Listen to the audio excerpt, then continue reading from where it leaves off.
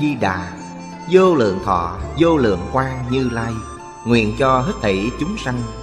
Nghe được danh hiệu của Ngài Đều có được tính tâm kiên cố Nơi bản nguyện siêu thắng Và cõi nước cực lạc thanh tịnh trang nghiêm. Con nay quy y pháp môn tịnh độ Tín nguyện trì danh Cầu sanh cực lạc Nguyện cho hết thảy chúng sanh Đều được thọ trì tu tập Phương tiện thành Phật tối thắng này.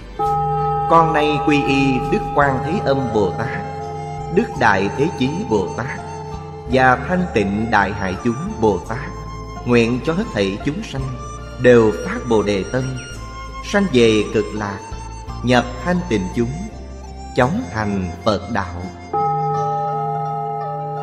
Tịnh độ Đại Kinh Giải diễn nghĩa Chủ giảng, Lão Pháp Sư Tịnh Không, Tập 53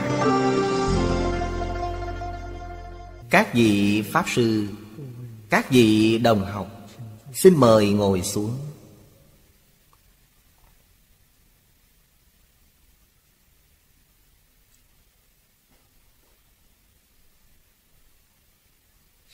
Xin xem Đại Thừa Vô Lượng Thọ Kinh Giải, Trang 54 Hàng thứ năm. Bắt đầu xem từ chữ Tam. Tam Nhất đa tương dung bất đồng môn. Đại sứ dân, Nhược nhất thất chi thiên đăng Quan quan tương thiệp. Cái nhất trung hữu đa Đa trung hữu nhất, Thị di tương dung. Di nhất đa chi tượng Bất thất Thị di bất đồng.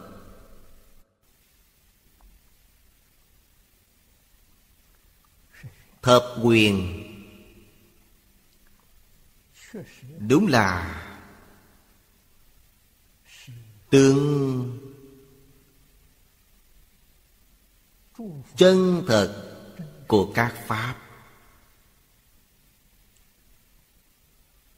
Chỉ có Đức Như Lai ở cõi địa Mới thấy được rõ ràng. Ngày xưa Đức Thế Tôn giảng kinh Suốt 49 năm. Duy nhất trên hội Hoa Nghiêm.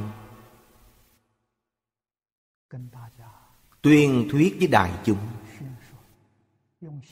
Dùng ngôn từ ngày nay nói cho thân thiết một chút Là chia sẻ với mọi người. Sau này Ở hội A Hàm, Phương Đặng, Bát Nhã Pháp Hoa, Niết Bàn Ngài đều không nói đến nữa Đều không nói như vậy nữa. Pháp Hoa là thuần viên. Hoa nghiêm là toàn viên. Đương nhiên đều khế nhập cảnh giới này.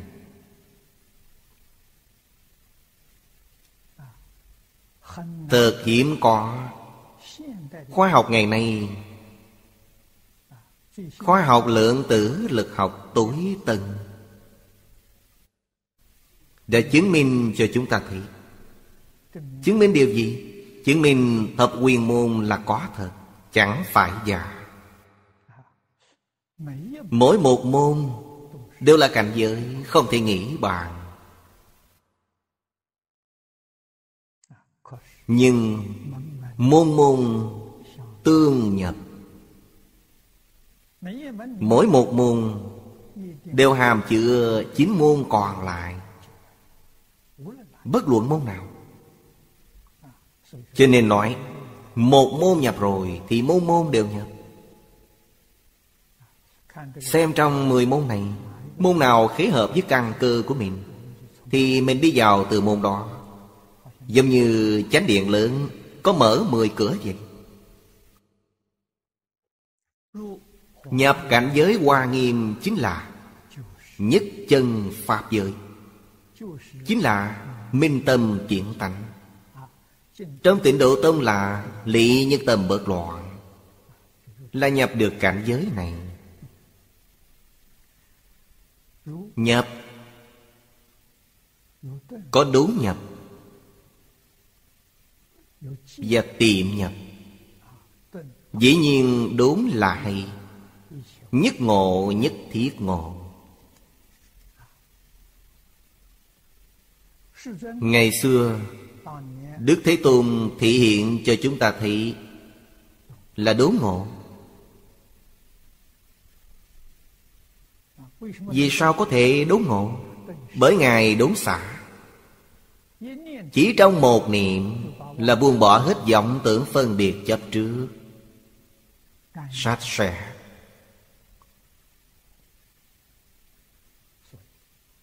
Nếu quý vị hỏi Phàm phu thành Phật Cần mất bao nhiêu thời gian? Nói thiệt với quý vị rằng Chỉ một niệm. Một niệm giác. Phạm phu thành Phật. Giác ở đây, Chúng ta có thể dùng Đề kinh Của bộ kinh này giải thích. Đề kinh của bộ kinh này Nói về tu hành, Nói về tu nhân Có năm chữ. Thanh tịnh bình đẳng giác.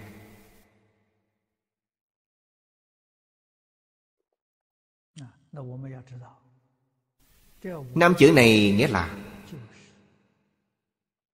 A nậu đa la tam miệu tam bồ đề Là vô thượng chánh đẳng chánh giác. Tâm thanh tịnh thành chánh giác Là A-la-hán Tâm bình đẳng thành đẳng chánh giác Là Bồ Tát. Phật Thành tựu vô thượng chánh đẳng chánh giác, Chính là chữ giác này. Chỉ trong một niệm, Chúng ta biết được phương pháp này, Hiểu được đạo lý, Tin chắc không nghi ngờ. Vấn đề ở chỗ nào?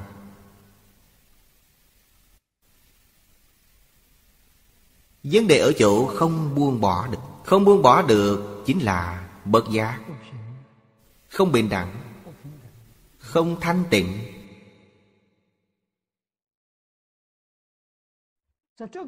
Với tình trạng như vậy, Trong một đời muốn thành tựu, Ngoài pháp môn niệm Phật ra Chẳng còn con đường thứ hai nào khác. Đây là sự thật Không dối gạt đâu. Đây là con đường tắt trong tiệm tu. Một đời chắc chắn thành tựu. Thành tựu sớm hay muộn, Về thế giới cực lạc, Có quả vị cao hay thấp, Vẫn ở chỗ buồn bỏ. Thì mới biết được Việc buông bỏ quan trọng mức nào. Vì sao Đức Phật lại nhấn mạnh Việc buông bỏ như vậy? Bởi trên thế gian này tất cả đều là giả. Bây giờ quý vị muốn quay về chân tánh. Trong chân không có giả, Cho nên những thứ giả không mang đi được.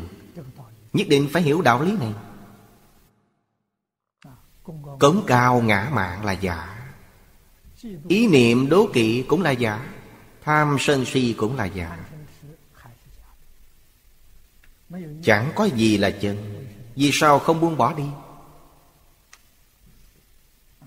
Buông bỏ thì niệm Phật có phần nắm chắc, Buông bỏ phẩm vị rất cao.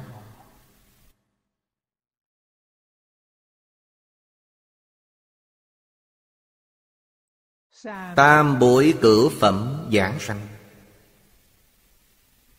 Thiện đạo đại sư nói rất hay. Tổng tại ngộ duyên bất đồng. Ngoài ra, Không có nguyên nhân gì đặc biệt cả. Bạc địa phàm phu Nếu ngộ duyên thù thắng, Thì có thể Trong một đời này Sẽ sanh về thật báo độ.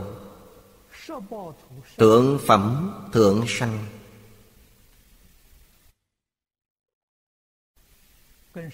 Không khác gì Đức Phật Thích Ca và Lục Tổ Huệ Năng. Sanh về thật bảo tra nghiêm độ Ở thế giới Tây Phương cực lạc. Thượng thượng phẩm giảng sanh.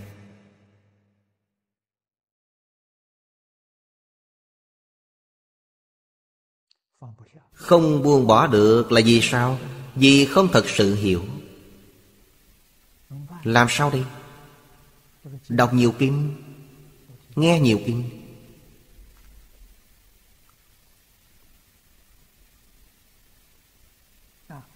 Nếu thật sự học được, Chiều tu hành này của bậc cổ nhân, Nhất môn thâm nhập trường thời huân tu. Thì quý vị sẽ thành tựu.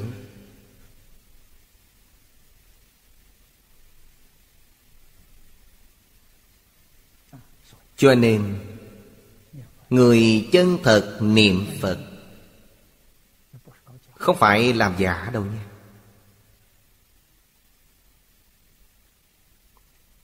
Cái cần buông bỏ, Phải buông bỏ hết. Cái không nên buông bỏ, Phải giữ cho kiên cố. Pháp môn này dạy chúng ta Chấp trì danh hiệu. Chấp là chấp trước, Trì là bảo trì. Cũng có nghĩa là chấp trì một thứ, Lục tự hồng danh.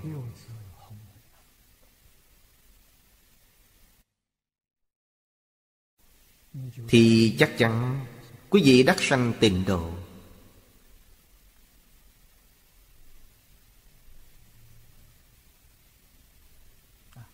Trong tâm có Phật. Tâm ức niệm. Khẩu xưng danh. Thân lệ kính. Tâm cung kính không được gián đoạn. Chúng ta không đối diện với tượng Phật. Vậy tâm cung kính còn hay mất? Vẫn còn.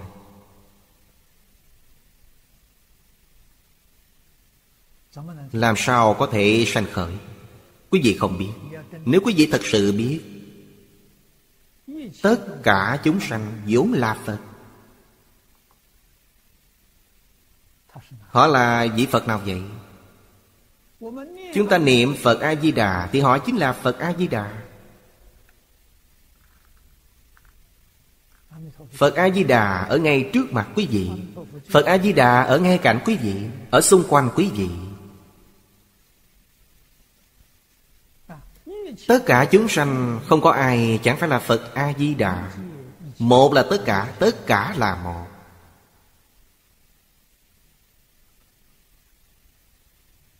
Đây là chân tướng sự thật.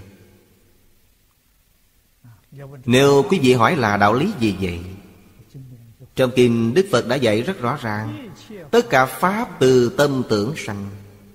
Phật A-di-đà cũng là một Pháp, Ngài cũng từ tâm tưởng sanh.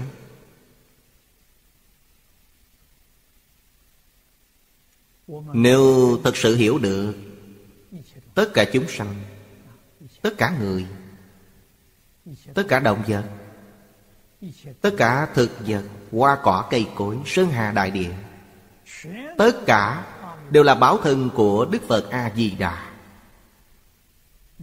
Quý vị khẳng định nhận biết Thì sẽ chứng được báo thân. Báo thân của Đức Phật A-di-đà, Một nguyện lễ kính chư Phật Của Bồ Tát Phổ Hiền Là quý vị viên mạng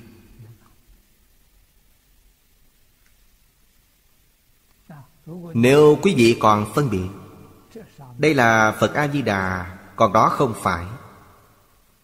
Thì nguyện này của quý vị không được viên mạng Một là tất cả Tất cả là một, Là đại viên mạng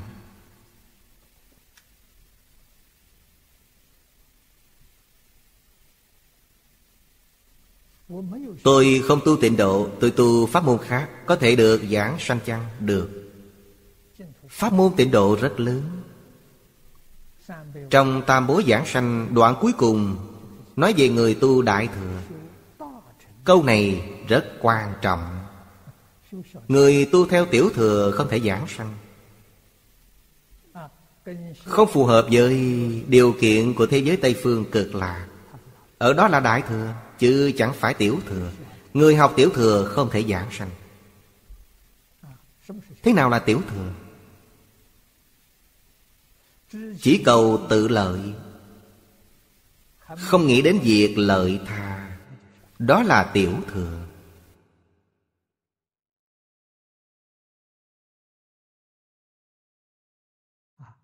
Đại thừa là tâm đại thừa.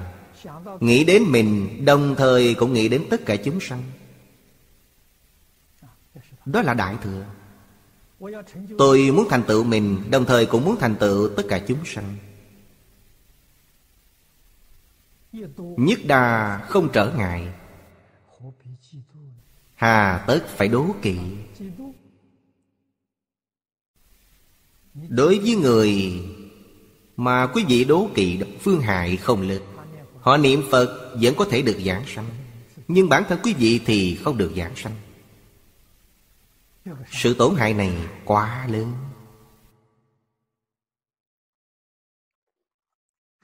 Nếu quý vị là người hiểu biết, Sửa đố kỵ thành tán thán, Tùy hỷ công đức, Thì quý vị là người rất giỏi. Bản thân quý vị tu tập, Người khác tu tập, Đều có một phần công đức. Trong sự tu trì của quý vị, Vì sao vậy? Vì tùy hỷ công đức. Chúng ta học đoạn này. Môn này gọi là Nhất đa tương dung bất đồng môn. Đại sớ là Kinh Hoa Nghiêm. Là sớ sau của Thanh Lương Đại Sư. Ngài dùng một ví dụ. Ví như một căn phòng. Căn phòng này có một ngàn ngọn đèn. Căn phòng này tương đối lớn, Giống như cung điện vậy. Lần này tôi đi tham vấn La Mã. Ngày xưa cũng đã từng đến tham vấn qua, Nhưng không có ấn tượng gì mấy. Lần đi này ấn tượng rất sâu sắc, Đặc biệt đến xem Thần điện của La Mã Cổ.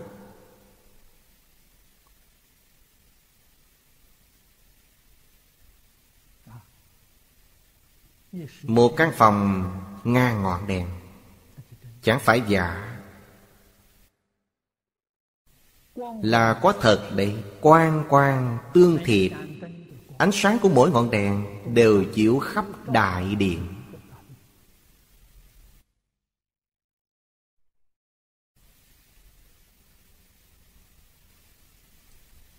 Trong một ngọn đèn,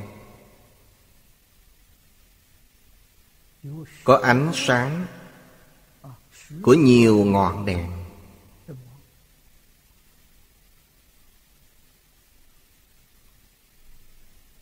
Đây là tương dung Nhất trung hữu đa Đa trung hữu nhất.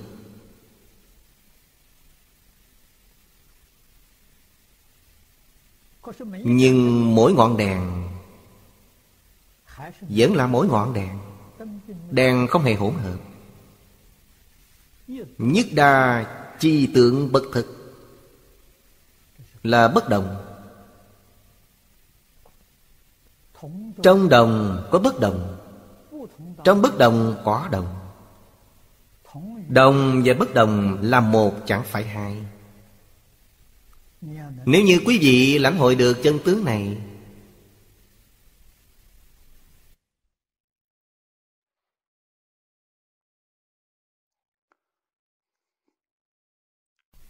Chúng ta xem qua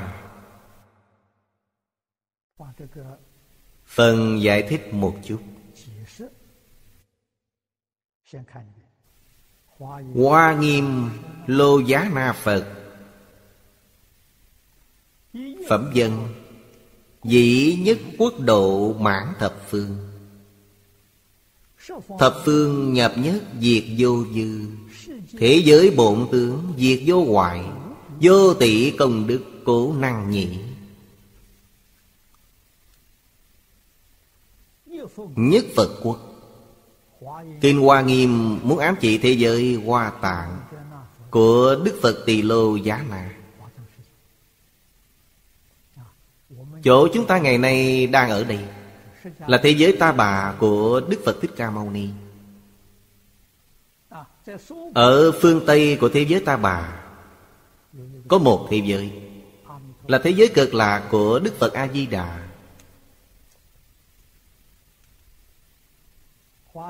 Trong thế giới hoa tạng Có ta bà chăng? Có Có cực lạc chăng? Có Vì sao vậy? Bởi là nhất đa tương dung bất đồng môn, Thì sao không có? Trong sát độ của mười phương Tất cả chư Phật, Một Phật sát cũng giống như một ngọn đèn vậy. Vũ trụ này được ví như một căn phòng. Không chỉ ngang ngọn đèn, Mà vô lượng, vô biên. Vô số vô tận sát độ của chư Phật Đều ở thế giới hoa tạng.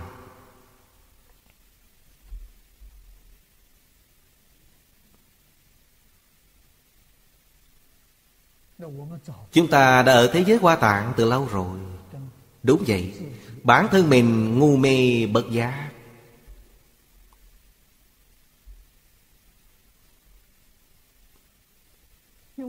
Vì ở trong sát độ của chư Phật, Chẳng có không gian. Không có không gian Thì không có cự ly. Ở đâu vậy? Chính ngày đây. Không có thời gian Thì chẳng có trước sau.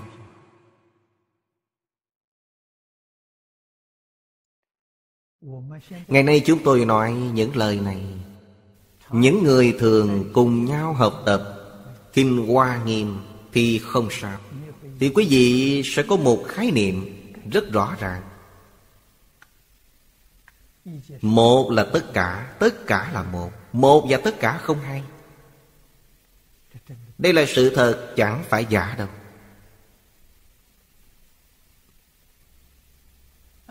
Khẳng định Vũ trụ và chính mình là một thể.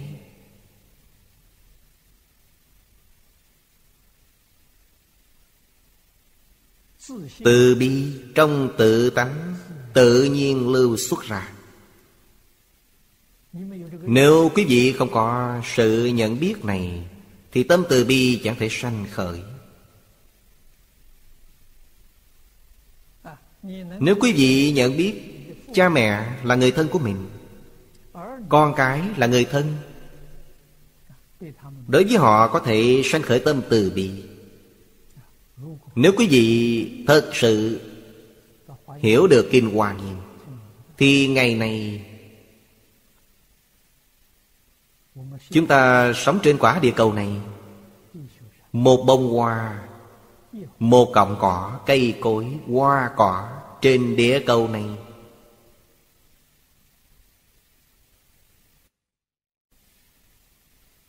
Cùng với mình Là một thể còn thân hơn cha mẹ, con cái nữa.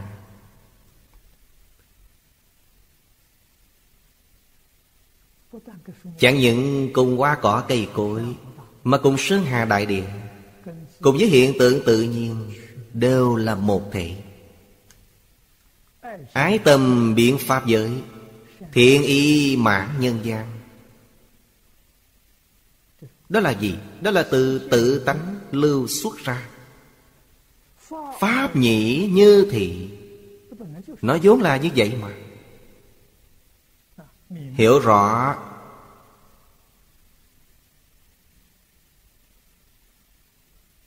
Thì nó lưu xuất. Phật là gì? Phật là một người hiểu rõ. Quý vị hiểu rõ Thì quý vị thành Phật. Ngày nay chúng ta hiểu, Nhưng tập khi phiền não, Vẫn còn, Vẫn chưa buông bỏ được. Thiên thai đại sư nói là Là Phật. Thiên thai đại sư nói Phật có sáu loại. Quý vị thuộc loại nào? Quán hành tức Phật. Bây giờ quý vị đang đi trên con đường thành Phật. Tuy chưa đến đích, Nhưng quý vị đi trên con đường chánh đạo, Con đường thành Phật. Vậy còn một bước chưa đi tới, Một bước chưa đi tới là Danh tự tức Phật. Tất cả đều nói về quá trình học tập. Đứng về lý mà nói Thì quý vị giống là Phật. Không sai chút nào. Kinh Hoa Nghiêm dạy rằng Tình giữ vô tình Đồng viên chủng trí. Chính là nghĩa này. Đây là điều những bộ kinh khác không có. Tình là hữu tình chúng. Chúng ta thường nói là động vật. Tình giữ vô tình. Vô tình là thực vật, khoáng vật. Hiện tượng tự nhiên. Đồng viên chủng trí.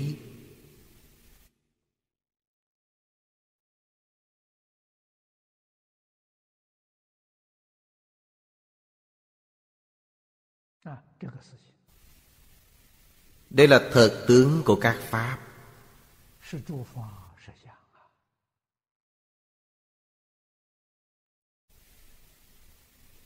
Nếu như chúng ta không học Hoa Nghiêm Một thời gian dài như thế Thì những lời này chúng ta nghe không hiểu. Nghe rồi sẽ phiền não Sẽ có ý kiến hơn 4.000 tiếng học tập đấy. Cho nên bây giờ, Chúng ta nghe hiểu được. Nghe rất quan hỷ. Tuy biết mình chưa làm được, Nhưng cũng sanh tâm quan hỷ.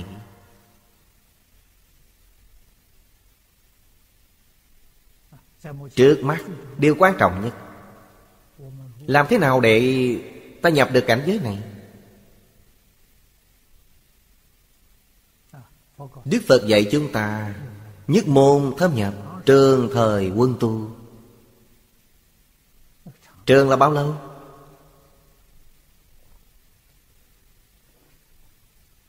Nếu quý vị thật tu, Thật sự nghe lời, Bình thường mà nói, Ba năm là đủ Thì nhập được cảnh giới này Nếu như còn một chút giải đại Còn một chút tật khí Thì 5 năm 10 năm 20 năm 30 năm, Chẳng có ai không thành tựu.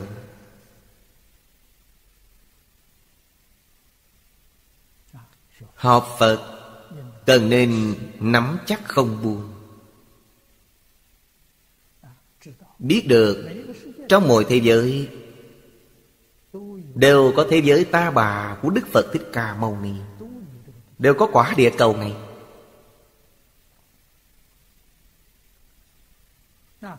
Đến bất kỳ quả địa cầu nào, Cũng có thể tìm thấy chúng ta. Thân của chúng ta không biết có bao nhiêu. Thật sự giống như kính dạng hòa Xuất sanh vô tận vậy.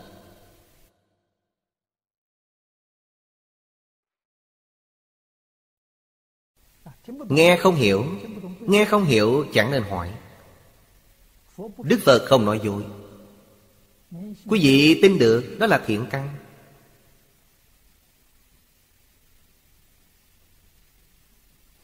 Quý vị không muốn nghiên cứu nó.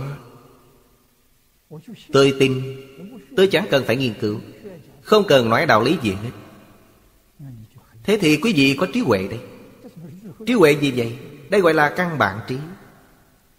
Bát nhã vô tri, Vô sợ bất tri.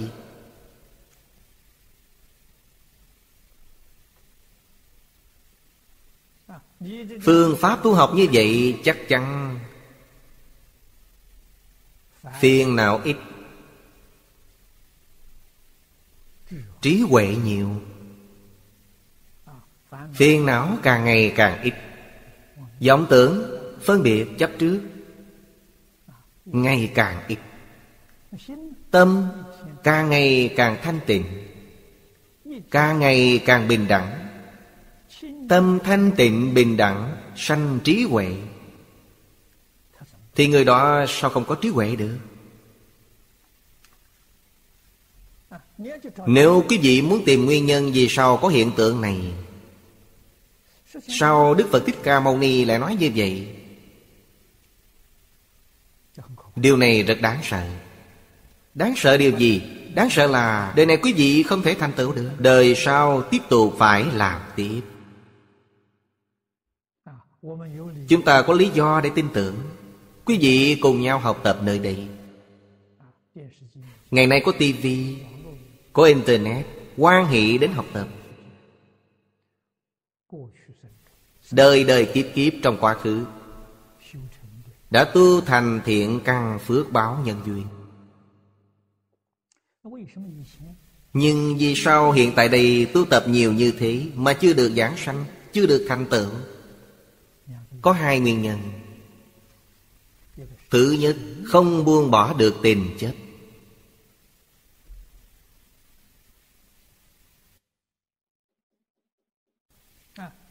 Thứ hai là Sở trì chướng.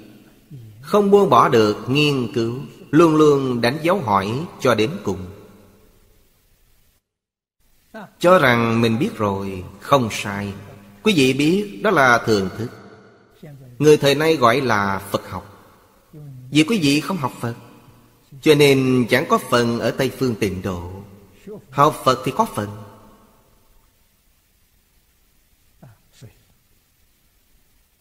Chúng ta cần chân thật học Phật. Chẳng nên tiểu hiểu về Phật học. Đối với tất cả Pháp mà Đức Thế Tôn nói, Từng câu từng chữ đều từ từ tánh lưu xuất ra. Ta thâm tín bất nghi. Người này có phước, Người này có định. Định là phước. Định lâu rồi. Những tập khí phiền não Không cần buông bỏ Thì tự nhiên nó cũng biến mất. Quý vị ở trong định, Tự nhiên những thứ này không còn.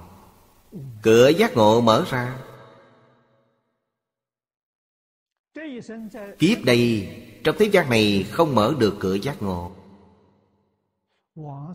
khi giảng sanh về thế giới cực lạc, Chắc chắn cửa giác ngộ sẽ mở ra, Đại triệt đại ngộ. Đây đều là chân tướng sự thật. Cho nên, tướng của mỗi người Đều độc lập riêng. Chẳng hề hỗn hợp một chỗ. Giống như trong chánh điện, Có ngàn ngọn đèn Ánh sáng của mỗi một ngọn đèn Đều chiếu khắp cả chánh điện.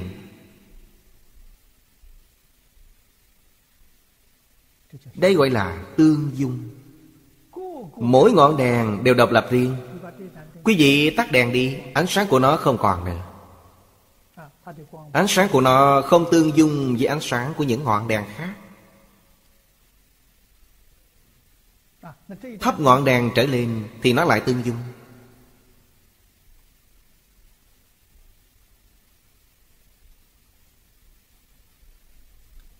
Đa không trở ngại sự tồn tại của nhất.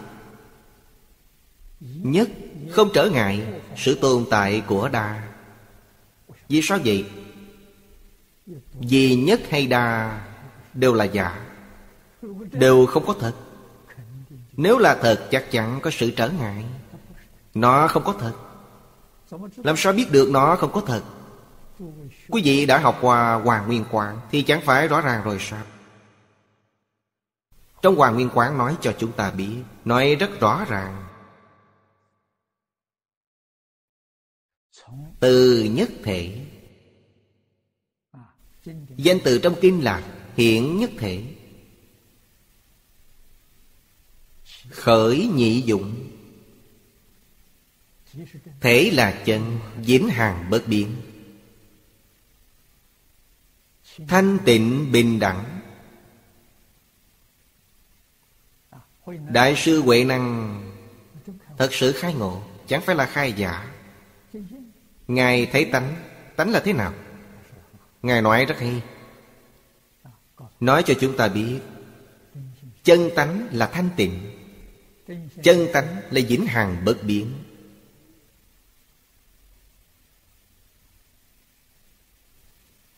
Chân tánh là viên mãn đầy đủ.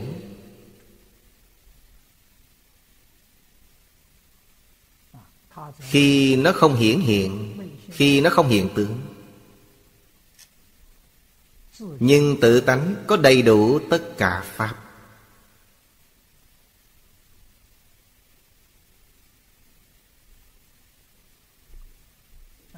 Tự tánh vốn là định, vốn không dao động, chính là tự tánh bổn định. Câu cuối cùng là năng sanh vàng pháp. Không có gì hết. Nhưng có thể hiện thật báo trang nghiêm độ của chư phật như lai. Đây là khái niệm vô cùng quan trọng đối với người học phật chúng ta, đề cập đến thật báo trang nghiêm độ của chư phật. Bản thân mình phải biết chúng ta và nó là một thể. Chúng ta có phận trong Pháp Đại Thừa, Mỗi câu mỗi chữ đều nói về chính mình. Nói về người là nói về mình. Nói về mình thì người khác cũng có phận.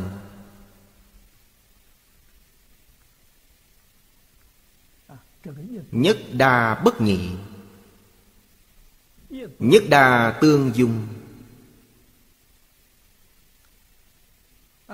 Đa không trở ngại sự tồn tại của nhất. Nhất cũng không trở ngại sự tương dung của đa. Pháp giới, Lý sự vô ngại. Sự sự vô ngại. Đây là chân tướng sự thật. Khế nhập vào chân tướng sự thật này, Quý vị thử nghĩ xem. Thật hiếm có. Quý vị ở nơi đây cùng nhau tu Lục Hòa Kính. Lục Hòa Kính là tánh đức. Ai ai cũng có. Mê thì không hòa. Giác ngộ rồi tự nhiên sẽ hòa. Người giác ngộ không có vọng tưởng phân biệt chấp trước Thì sao chẳng hòa? Cùng với chư Phật Như Lai và Pháp Thân Bồ Tát, Không hai, không khác.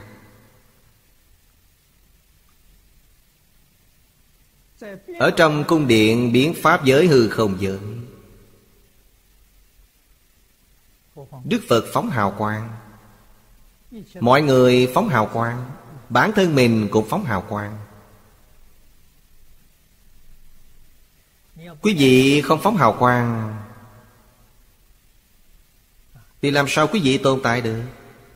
Hào quang này nhà khoa học gọi là ba đồng Vì sao gọi là ba động? Bởi nó thật sự có hào quang. Vì sao? Vì thể của nó là thường tịch quang, Thì sao không có hào quang được? Hào quang từ đâu mà có? Từ thường tịch quang. Trong tự tánh vốn có đầy đủ.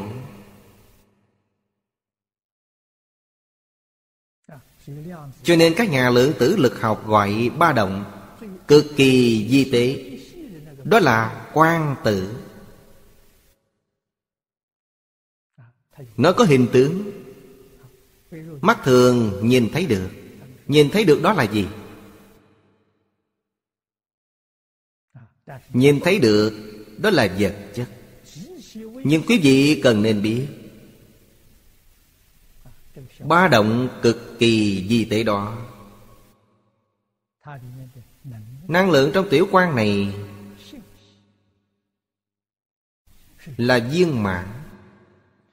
Đều hàm chứa trong quan tử cực kỳ di tế đó.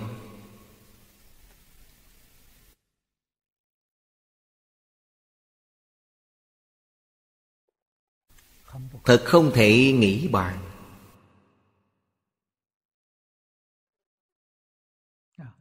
Chúng ta thật sự thực hành được lục hòa kiếm rồi. Kỳ thật, Ở trong đạo tràng của chúng ta, so ra Dễ tu tập hơn, Bởi mọi người đều nhận biết rõ ràng. Đồng một thể, Tự tánh thanh tịnh viên minh.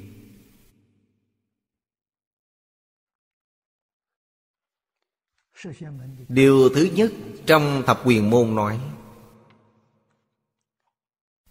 Đồng thời cụ túc tương ưng môn. Vì nó là Một sanh mạng thể cộng đồng. Cho nên đồng thời cụ túc tương ưng môn. Môn này là tổng tướng. Kế đến là quản hiệp tự tại vô ngại môn. Nhất đa tương dung bất đồng mục đây là biệt tượng Nhất Phật sát mãn thập phương.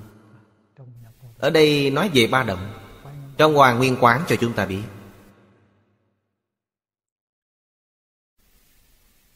Nói về khởi nhị dụng. Từ một thể khởi nhị dụng. Trong nhị dụng chánh báo là mình. Y báo là hoàn cảnh. Đây gọi là nhị dụng. Bất luận là chánh báo hay y báo, Đều đang chấn động. Không chấn động thì chẳng còn hiện tượng Là quay về thường tịch quan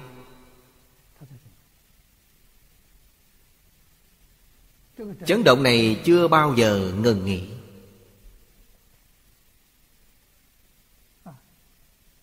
Hiện tượng động đầu tiên của nó là châu biển Pháp giới.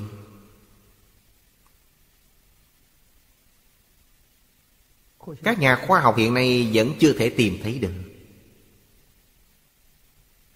Vì tốc độ của ba động này quá nhanh.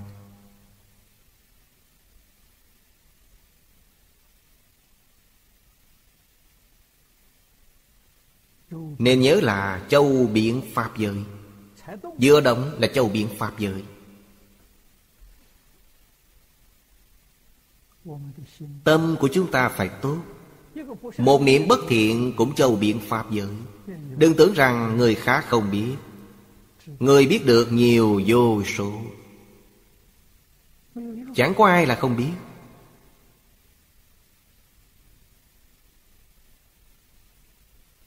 Cho nên không thể có ý niệm bất thiện. Không thể có ngôn từ bất thiện. Mình phải nghiêm chỉnh tu tập. Nhìn thấy người khác bất thiện, Đừng để trong lòng. Không nên phê bình. Không nên để trên miệng.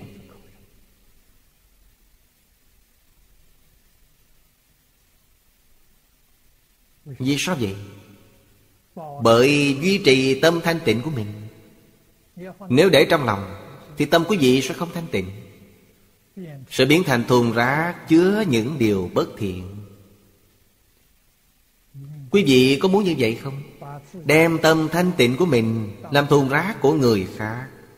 Suốt ngày làm phiền người khác. Tìm lỗi người khác. Vừa động niệm, vừa mở miệng Là bỏ vào hoa hết.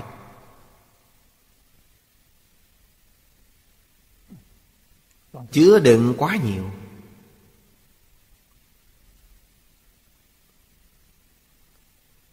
Chứa đựng quá đầy rồi.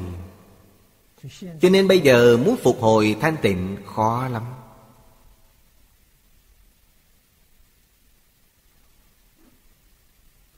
Kỳ thật, tất cả đều là hư vọng.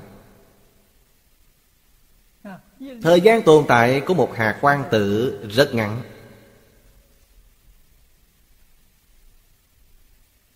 Mỗi hạt đều chẳng tương can, Đều độc lập riêng.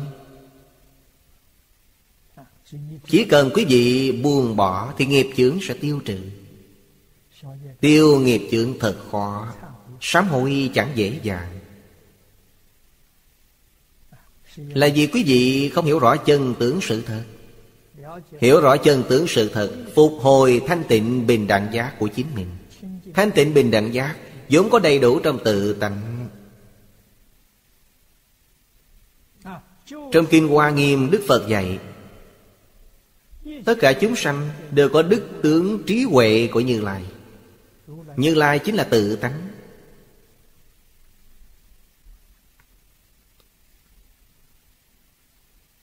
Trí huệ chính là thường tịch quan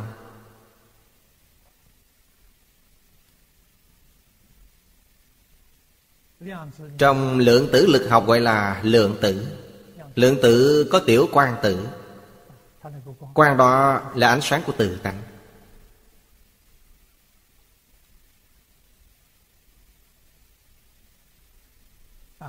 Đức ở đây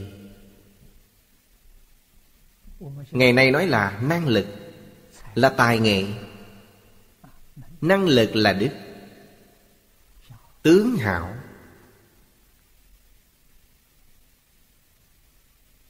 Nói đến tướng hảo Đầu tiên sẽ nghĩ đến chính mình. Tướng mạo trang nghiêm đẹp đẽ, Thân thể khỏe mạnh trường thọ. Mỗi mỗi đều là vô lượng thọ. Hiện nay quý vị mê, Bản thân quý vị không biết. Chư Phật Bồ Tát giác ngộ, Chư Phật Bồ Tát nhìn thấy quý vị là vô lượng thọ.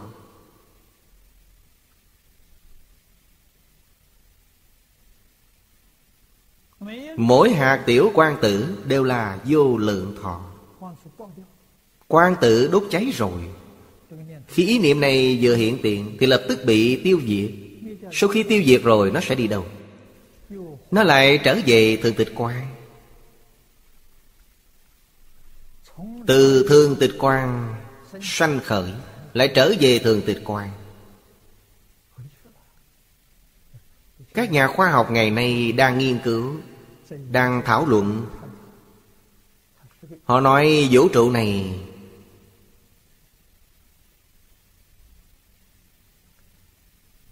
chín phần mười vũ trụ không thấy nữa. Khoa học tìm không ra. Các nhà khoa học tìm được, đại khái khoảng mười phần trăm, còn chín mươi phần trăm hình như phồng lên. Phồng lên đến cuối cùng cũng không còn nữa sau cuối cùng không còn nữa, Bởi nó trở về thường tịch quan. Đức Phật nói rất rõ ràng, Họ còn đang hoài nghi. Thập quyền môn Để cho họ giảng Giảng được thôi, Chứ giảng không thấu triệt. Vì sao vậy? Bởi đó chẳng phải là cảnh giới của họ. Hiện tại, vọng tưởng phân biệt chấp trước của họ Hoàn toàn chưa buông bỏ được. Chưa buông bỏ mà chứng được. Nếu là khoa học chứng được. Vậy chúng ta có thể không cần học Phật học, Mà học với các nhà khoa học là được rồi. Họ nói rất hay, Nhưng họ không chứng được. Họ không được lợi ích. Nếu thật sự chứng được, Thì được lợi ích lớn. Học mà không dùng được, Thông thường người ta gọi là quyền học. Quý vị không dùng được. Phật Pháp là khoa học. Khoa học và quyền học khác biệt nhau ở chỗ này. Quyền học là học rồi mà không dùng được. Nhưng Phật Pháp học rồi thì dùng được. Dùng trong cuộc sống sinh hoạt hàng ngày của quý vị. Dùng được là thế nào? Trong kinh Đức Phật dạy Lìa khổ được vui. Tam khổ, bát khổ đều đoạn hết. Không còn khổ Thì quý vị được đại tự tại. Đại tự tại chính là lạc.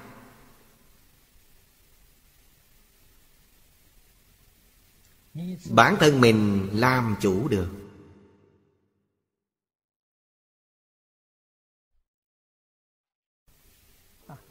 Tự đức trong tự tánh là thường lạc ngã tịnh. Ngã có nghĩa là tự tại, là vĩnh hằng. Cho nên, thân này không phải là ta thân, có sanh diệt. Nó là hình tướng.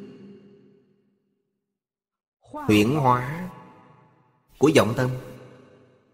Nó không thật có. Khi mê, Thân này chết rồi. Thân này diệt rồi. Linh hồn thì bất diệt. Thân diệt rồi nó đi về đâu? Hiện tượng vật chất này đi về đâu? Hiện tượng vật chất vốn không có. Thì nó đi về đâu chứ? Trong Kinh Lăng Nghiêm nói rất hay, Đương sự xuất sanh, Tùy sự diệt tận. Sanh diệt, Đồng thời đồng sự Đồng thời đồng sự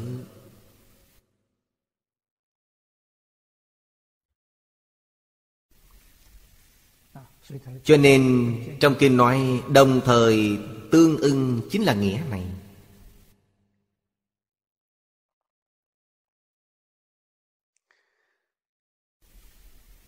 Thập phương nhập nhất, Nhập vào một sắc độ. Một sắc độ nhập thập phương.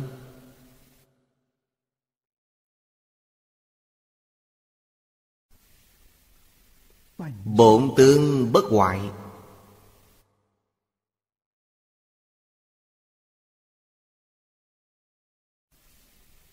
Vì sao bổn tướng bất hoại? Trong đây có công đức không gì sánh bằng. Công đức này là tự tánh, Chỉ cho tánh đức.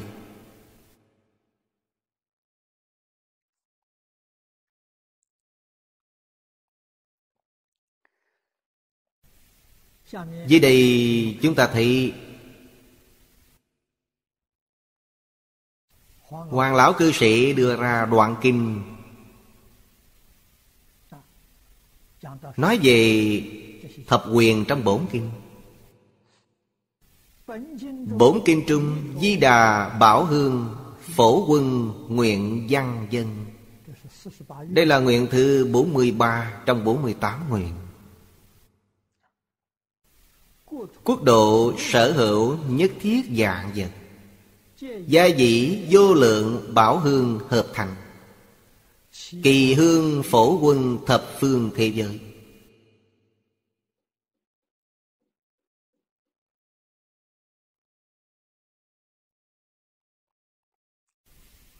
Đây là nguyện thứ 43 của Đức Phật A-di-đà.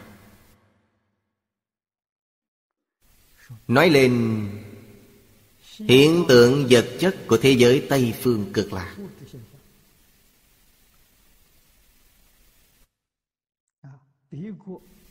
Bị quốc giảng vật, trung nhiệm hạ Nhất vật. Gia di vô lượng bảo hương sở thành.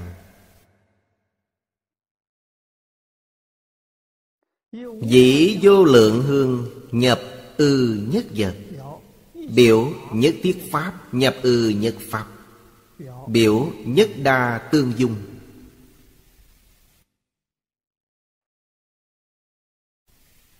Nhất pháp giả bất hoại. Thực tế mà nói, Những sự việc này ở ngay trước mặt. Chúng ta dùng tâm tư duy và quan sát, Cũng không rời vọng tâm.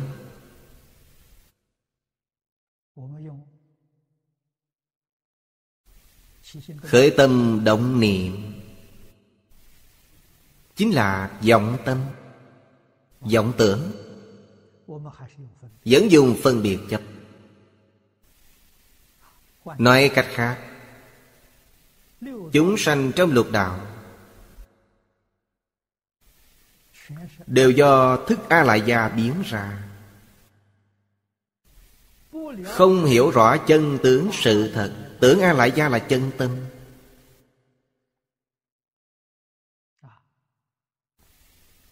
Sai lầm lớn nhất là ở chỗ này. Chỗ này sai lầm. Thì tất cả đều sai lầm.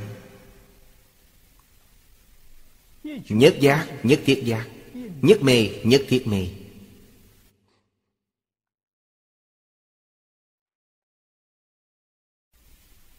Chúng sanh và Phật Ngoài sự mê ngộ ra Thì không có gì chẳng tương đồng.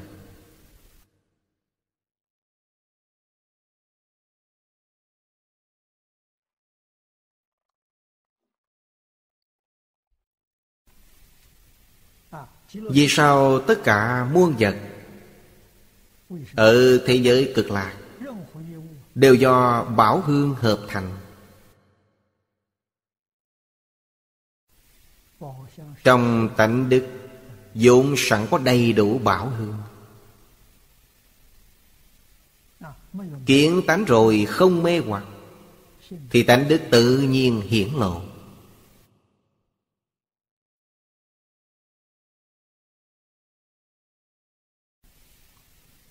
Sống ở trong môi trường như thế, Chúng tôi thường nói, Người này được đại tự tại. Vì sao tự tại? Bởi ngửi được bảo hương.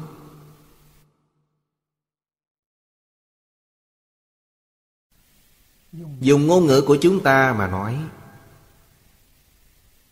Là sự gia hộ của bảo hương. Gia hộ có lợi ích gì? Lợi ích thứ nhất. Giúp quý vị chuyển phiền não thành bồ đề. Chuyển sanh tử thành niết bàn. Có được sự lợi ích như thế đấy.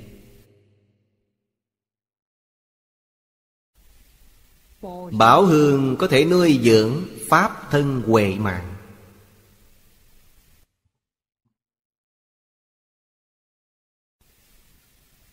Nuôi dưỡng được Pháp thân huệ mạng. Quý vị nghĩ thử xem. Không thể nuôi dưỡng được nhục thân của chúng ta sao? Chắc chắn được.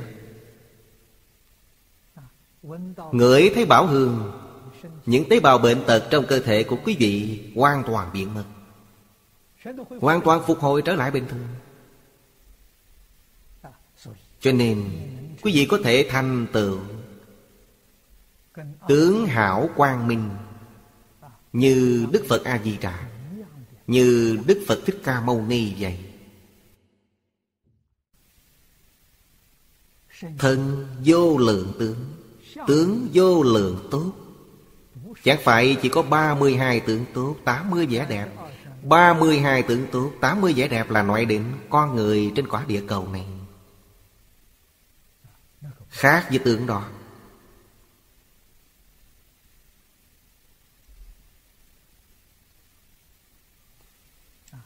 Cũng có nghĩa là,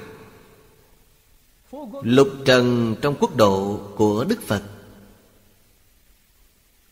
Sắc thanh hương vị xúc pháp Đều được lưu xuất từ từ tánh.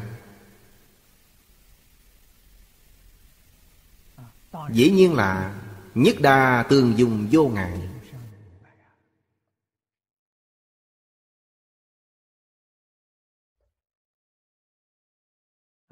Danh từ nói trong tự tánh Là kiến văn giác tri. Mê rồi Thì biến thành A Lại Gia. Tâm và tâm sở của A Lại Gia Đều có đầy đủ. Thọ, tưởng, hành, thức.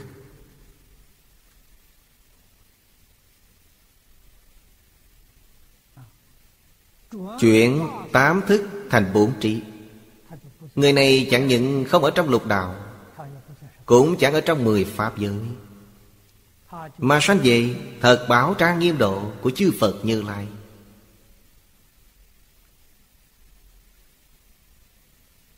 Điều này chúng ta chẳng thể không biết. Biết được cảnh giới này trang nghiêm như thế Đối với thế giới Tây Phương cực lạc, Mới thật sự khởi tâm muốn sanh về cõi đó.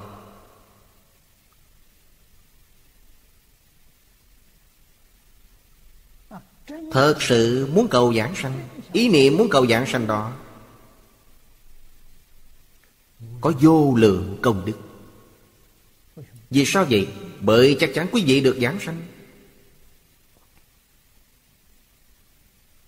Nếu đối với thế gian, Với thế giới hư vọng này, Không buông được, Chẳng còn cách nào đâu.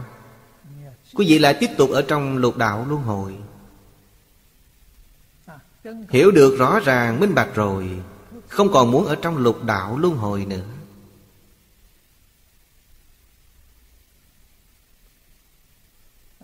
Tuy hiện tại thân còn ở trong lục đạo, Làn sóng của mọi ý niệm của chúng ta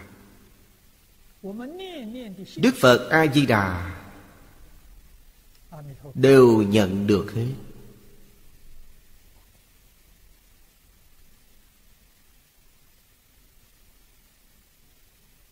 Vừa khởi một niệm là châu biện Pháp giới.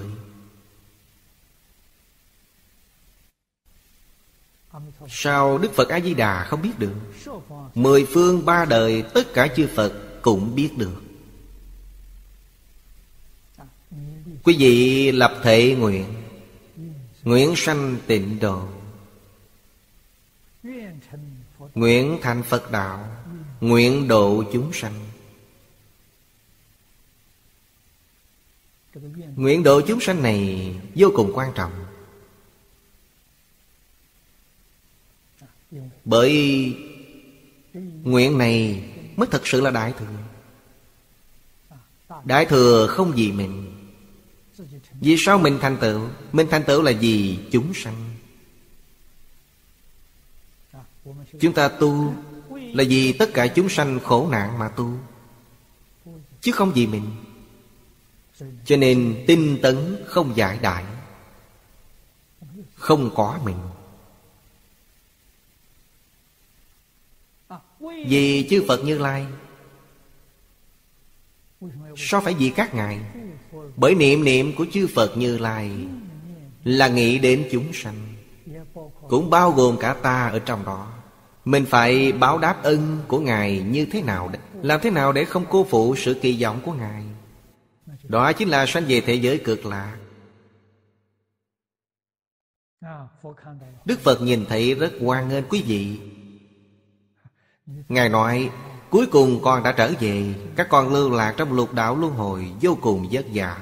Lần này các con trở về rồi, Thật là may mắn.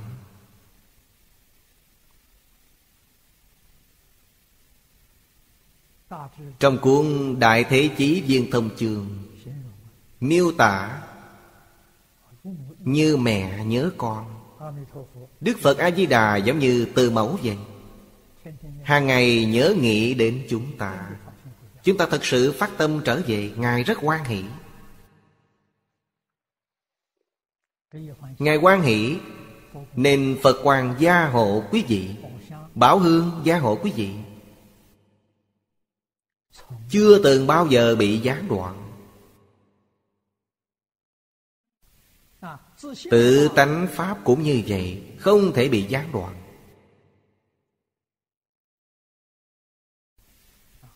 Chúng ta thật sự hiểu rõ rồi. Quý vị nghĩ xem, Sự an ủi này to lớn biết bao. Lục hòa rất khó. Khó vô cùng. Hai người sống với nhau Đều đưa ra ý kiến riêng, Không thể hòa được. Bốn người hàng ngày chẳng phải muốn đánh nhau đó sao?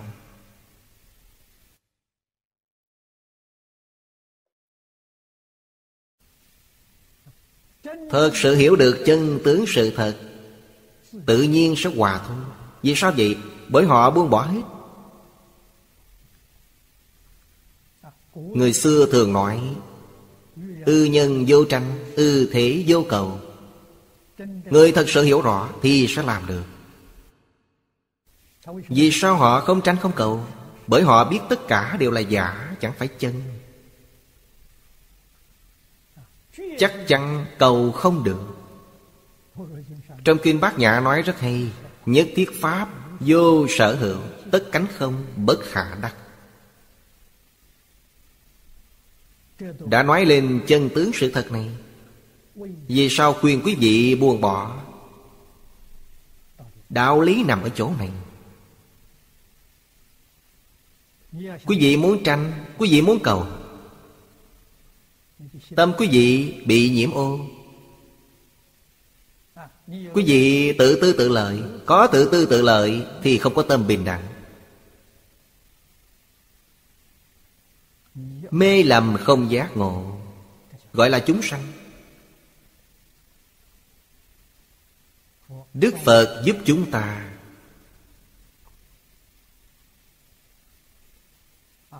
Khiến chúng ta hiểu rõ đạo lý này. Biết được Buông bỏ là đúng. Vĩnh viễn buông bỏ.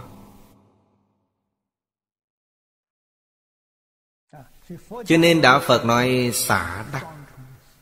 Có hai nghĩa. Quý vị xả là bố thí, Là cúng dường. Quý vị tu tài bố thí Chắc chắn được giàu có. Càng thí, càng nhiều. Quý vị tu Pháp bố thí Chắc chắn được thông minh trí huệ. Tu thí vô ủy Chắc chắn được mạnh khỏe sống lâu. Điều này Đức Phật dạy chúng sanh Mê lầm không giác ngộ trong lục đạo. Trong tâm có dục vọng Muốn mong cầu, Cho quý vị biết phương pháp Hữu cầu tất ứng này.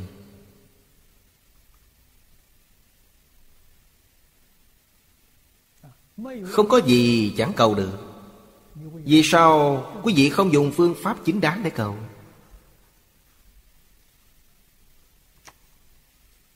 Quý vị dùng phương pháp sai lầm, Dùng phương pháp phi pháp. Đó gọi là tà pháp. Những điều đạt được là ở trong vận mệnh của quý vị. Quý vị nghĩ xem có oan không? Trong vận mệnh không có Thì câu cách nào cũng chẳng đạt được. Chúng ta cầu Phật Bồ Tát, Chứ Phật Bồ Tát cảm ứng, Giúp ta đạt được, Vẫn là do chính quý vị tu. Bản thân quý vị không tu, Chứ Phật Bồ Tát cũng chẳng thể giúp được gì. Chư Phật Bồ Tát gia hộ quý vị là tương đối. Quý vị có một phần công đức, Thì các ngài giúp quý vị một phần. Quý vị có mười phần công đức, Thì các ngài giúp quý vị mười phần Là tương đối. Không tăng, không giảm. Nếu chúng ta muốn được sự gia hộ của chư Phật Như Lai nhiều hơn, Thì chúng ta phải thật sự dụng công. Cần buông bỏ nhiều, Buông bỏ nhiều thì sẽ đạt được. Ví dụ như tài thí Thì quý vị sẽ phát tài. Phát tài rồi thì làm sao? Lại đem hết số phát tài đó đi bổ thí. Học phạm lại. Vào thời Ngô Việt Xuân Thu, Nước Việt có bác sĩ Tên là Phạm Lại, Giúp cho vua câu tiện nước Việt.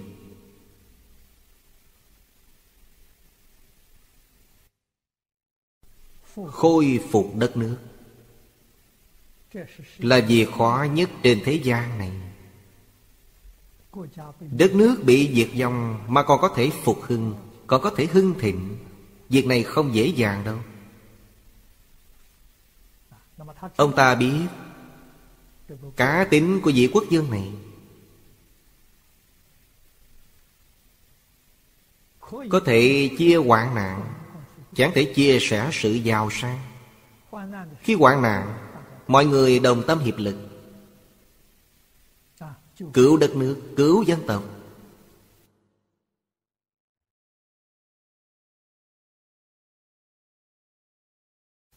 Đánh bại quân địch. Mình được thắng lợi Thống nhất rồi. Những người làm được việc như vậy không cần nữa.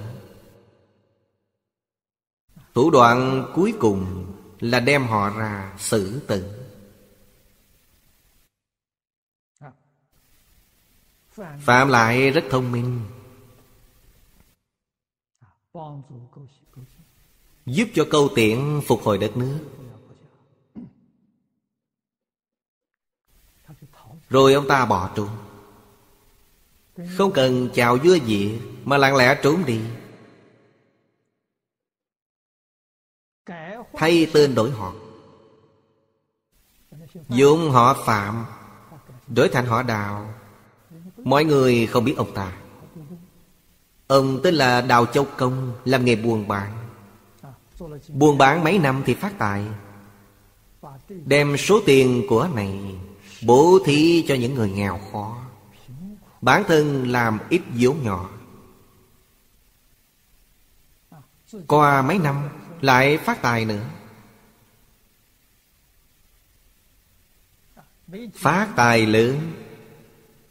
Bố thí nhiều Dẫn mệnh nhiều của Lại hết. Ba tụ, ba tăng Người Trung Quốc lạy thần tài Thần tài chính là phạm lại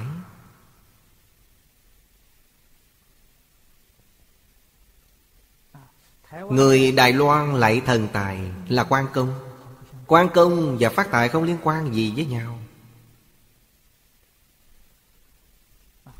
Quan phu tử là trung nghĩa. Là điển hình trung nghĩa. Là khuôn mẫu trung nghĩa. Không liên quan gì đến phát tài. Phạm lại có liên quan lớn đến sự phát tài. Người này rất biết buôn bán Hoàn toàn hiểu được tự nhiếp pháp của Đạo Phật Thời đó Đạo Phật chưa truyền vào Trung Quốc. Cho nên không thể lấy đồng tiền bất nghĩa. Bất nghĩa Tức là không hợp với đạo lý.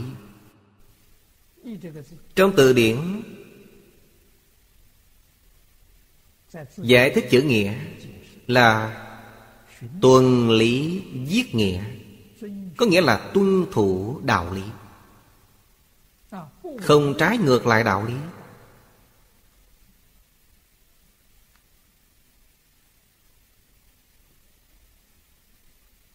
Đạo là gì? Ngũ luân là đạo. Ngũ thường là đạo. Tứ duy bát đức là đạo. Giữ gìn không vi phạm.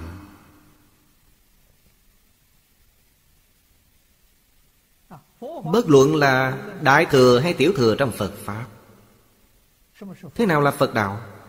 Thập thiện nghiệp đạo chính là Phật đạo.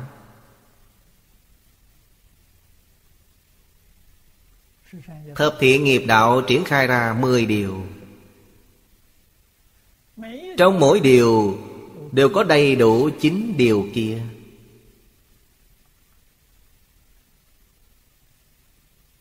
Mười nhân với mười bằng một trăm. Một trăm điều vẫn là đại cương. Tiểu thừa triển khai rộng ra. Triển khai ra bao nhiêu? Ba ngàn điều. Chính là ba ngàn oai nghi. Bồ Tát Nói càng kỹ hơn. Bồ Tát triển khai ra là Tám dạng bốn ngàn tế hạnh. Thập thiện nghiệp đạo viên mãn Thì thành Phật.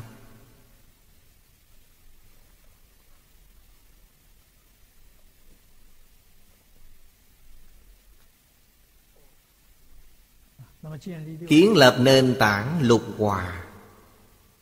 Xã hội ngày nay Tuyệt đối không thể yêu cầu người khác hòa với mình. Nếu quý vị yêu cầu như thế, Cho đến khi chết, Quý vị cũng chẳng gặp được người nào.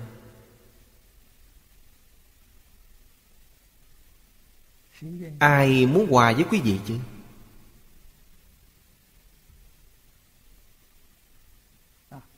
Chỉ có mình phát tâm hòa với người khác. Hòa với người, Nhất định mình phải tu nhẫn nhục ba la mật. Phải chịu thiệt thòi.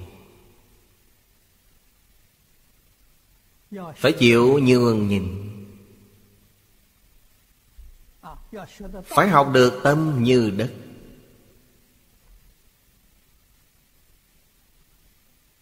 Trong xã hội Người ta cho rằng quý vị là kẻ ngốc. Quý vị quá khờ khạo. Người đời thấy quý vị cho là kẻ dị nhân Không tương đồng với người ta Là quái nhân, quái dị. Nhưng chư Phật Bồ Tát thì tán thán quý vị. Vì sao vậy? Tuy quý vị không học Phật Nhưng kiếp sau chắc chắn sanh về cõi trên. Hành thập thiện sanh về cõi trời. Nếu mười điều này quý vị có thể mở rộng ra, Mở rộng ra đến ba ngàn điều, Thì quý vị sẽ ra khỏi luân hồi lục đạo.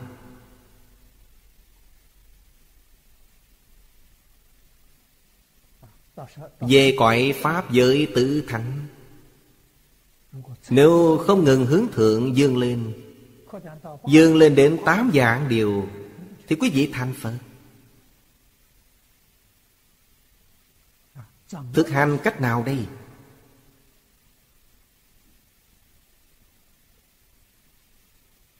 Thực hành đệ tử quy Chính là thực hành thập thiện nghiệp. Quý vị mang ra so sánh thử mà xem. Trong đệ tử quy nói về 113 sự việc, Điều nào thuộc về bố thí? Điều nào thuộc về trì giới? Điều nào thuộc về nhẫn nhục? Tất cả đều ở trong đó. Mỗi câu mỗi chữ trong Thái Thượng Cảm ứng Thiên Cũng ở trong đó. Một là ba, ba là một. Thập thiện nghiệp đạo là đại cương. Đệ tử quy là tế hạnh. Là đại cương trong tế hạnh Vậy chúng ta điều gì? Vậy chúng ta khiêm hạ. Vậy chúng ta nên tôn trọng lệ phép đối với người khác. Đây là sự thật không dối gạt đâu.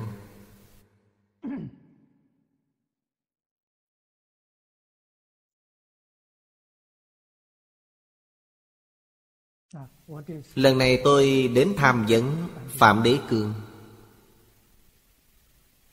Gặp Đức Giáo Hoàng của Đạo Thiên Chúa.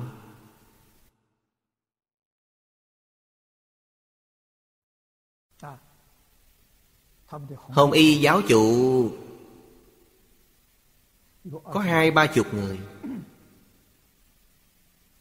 Đều là người lãnh đạo của Thiên Chúa Giáo. Gặp giáo chủ, Đầu họ cúi xuống. Cúi xuống bao nhiêu độ vậy? Khoảng 5 độ. Họ cúi đầu khoảng 5 độ thôi. Không dễ đâu nha. Người xưa dạy chúng ta, Trong đệ tử quy quy định Thân là 90 độ Quý vị nghĩ xem, Lễ 5 độ và lễ 90 độ. Người ta đối với mình như vậy, Mình sẽ có cảm nhận như thế nào? Xã hội phải tường hòa, Không có lễ làm sao có thể hòa được? Lễ là gì? Lễ là nói lên sự thành kính của chúng ta. Chân thành cung kính phải biểu hiện ra. Cho nên, đoàn thể nhỏ này của chúng ta, Số người không nhiều.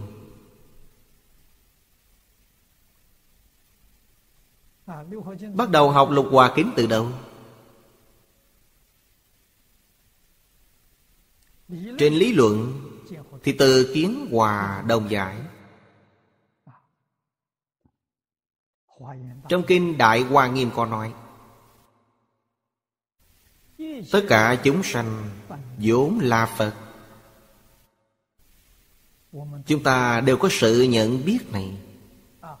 Trong Kinh Hoa Nghiêm nói, Tình giữ vô tình, đồng viên chủng trí. Viên là viên mãn Cho nên Muôn sự muôn vật Trong biển Pháp giới hư không giới. Cùng chúng ta là một thể. Một thể này là gì? Một thể này gọi là thanh tịnh Pháp thân. Đức Phật đã chứng được Chúng ta có hay không? Có. Chúng ta không rời xa thanh tịnh Pháp thân. Chỉ vì mê mờ, Không chịu nhận. Chư Phật Bồ Tát đã giác ngộ, Các ngài hoàn toàn nhận được. Là một thể Thân thiết biết bao. Chư Phật Bồ Tát và chúng ta là một thể. Ngày nay chúng ta khổ như thế này sau các ngài không đến giúp chúng ta? Bởi quý vị có nghiệp chướng, Có nghiệp chướng nên bắt buộc ở trong môi trường này Mới có thể tiêu trừ được nghiệp chướng đó. Sau khi tiêu trừ rồi, Thì chư Phật Bồ Tát giúp quý vị được là Quý vị có nghiệp chướng, Chư Phật Bồ Tát giúp quý vị thăng quan phát tài, Thì quý vị tạo nghiệp càng nặng hơn. Tương lai đọa vào địa ngục càng sâu hơn, Cho nên chư Phật Bồ Tát có trí huệ, Các ngài không nhẫn tâm làm như vậy. Ai tới giúp quý vị đây? Ma Dương Ba Tuần đến giúp quý vị. Nơi định dạy quý vị tăng trưởng dục vọng, Tăng trưởng tham sân si sau khi chết rồi Thì xuống địa ngục A Tỳ chịu khổ. Nó ở đó xem quý vị diễn kịch.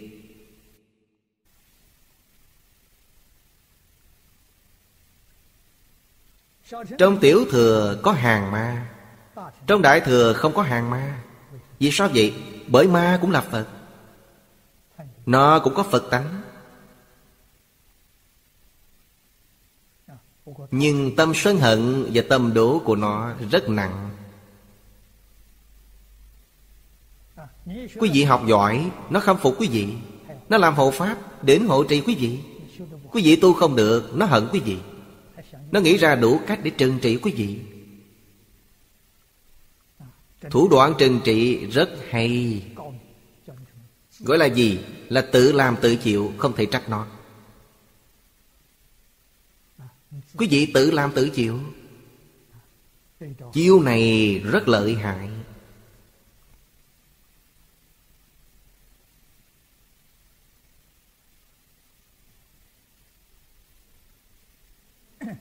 Dưới đây nói, Hữu nhất vật chi nhất tướng, Giữ chúng hương chi đa tướng, Cộng tồn, Biểu lưỡng tướng bất đồng chi nghĩa.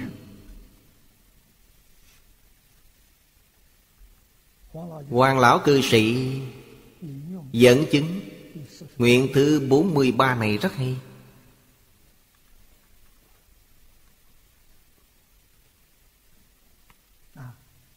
Nhất vật Là một tướng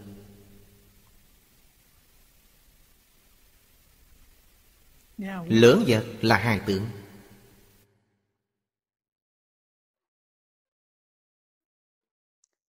Vô lượng, vô biên hình tướng Cộng tồn, cộng vinh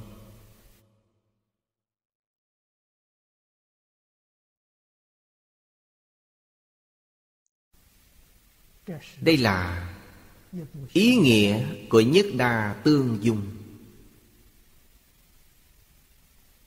Nhưng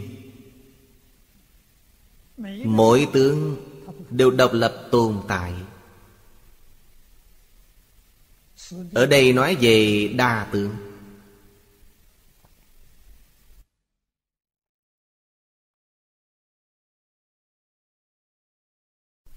Chúng ta nên nghĩ đến Tiểu quan tử trong lượng tử ngày nay.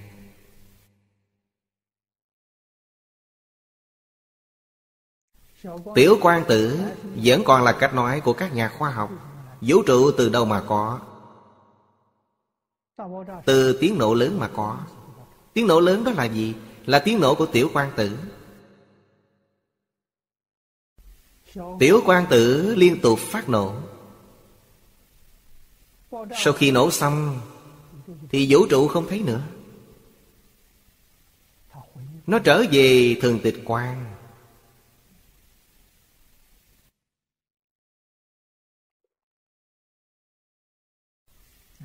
Đây là chân tướng sự thật. Kiến hòa đồng giả của chúng ta Phải kiến lập trên nền tảng này. Liên trì đại sư, Dùng thập quyền môn, Giảng giải Di đà sử sao. Quan niệm tổ lão cư sĩ, Chú giải kinh vô lượng thọ. Cũng dùng thập quyền môn.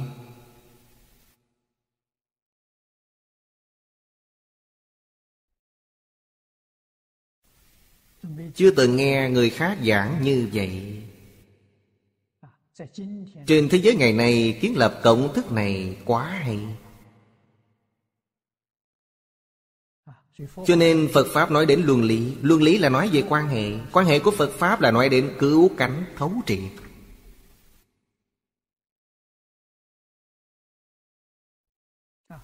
Chúng ta có cần thương yêu chúng sanh chăng?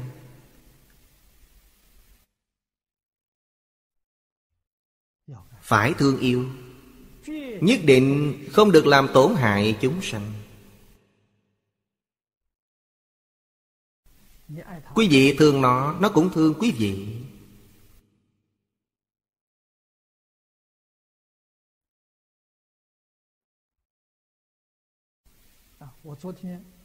Hôm qua tôi trở về từ Malaysia. Tối đêm trong phòng có một con muỗi. Tôi mau chóng nói chuyện với nó. Tôi nói, Bồ Tát mũi à Ông từ đâu vào đây? Tôi không biết. Nên ông vào đường nào thì ra bằng đường đó vậy?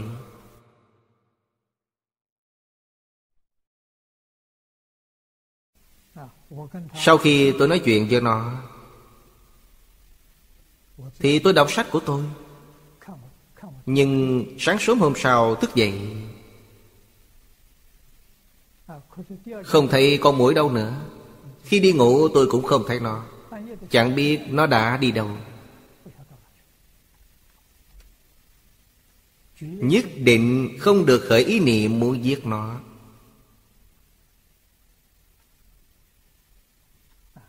Nó rất dễ thương, Biết nghe lời. Nói chuyện với nó là nó sẽ đi ngay. Cửa phòng đóng kín, Không biết nó đi tư đường nào. Ngay cả qua cỏ cây cối, Chúng ta cũng có thể nói chuyện được.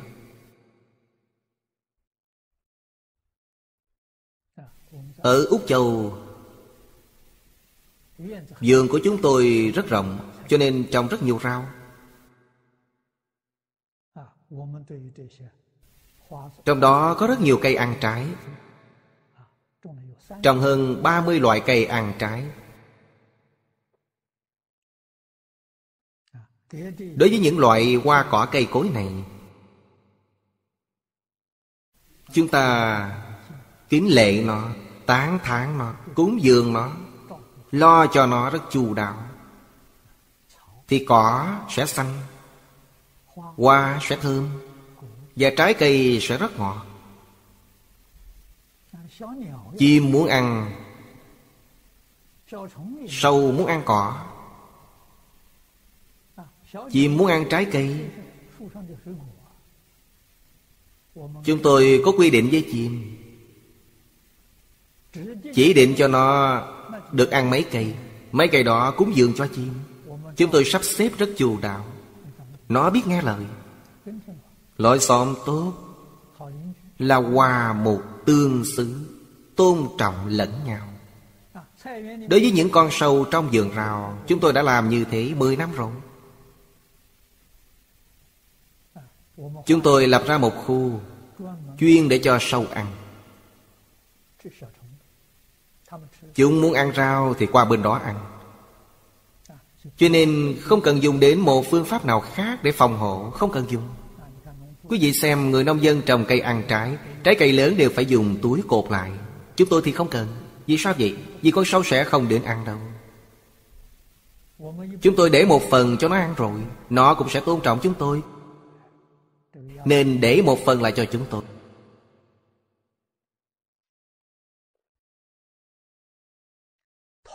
Tất cả đều có linh tánh. Sơn Hà Đại Địa cũng có linh tánh. Thật sự có sơn thần, Có thần thổ địa.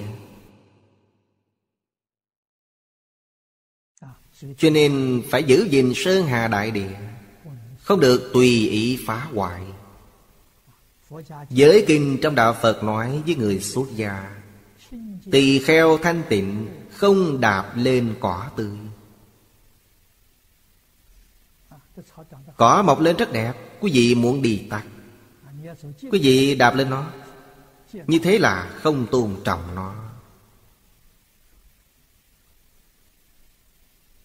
Có đường, nhất định phải đi trên đường. Trừ những trường hợp khẩn cấp, Không có cách nào thì được.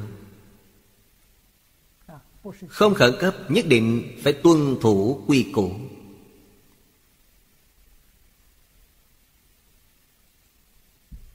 Đây là lệ kính chư Phật.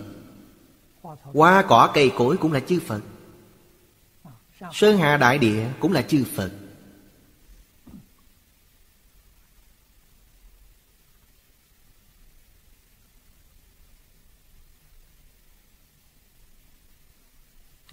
Chúng ta phải thật sự hiểu rõ ràng, Mới biết mình phải làm cách nào.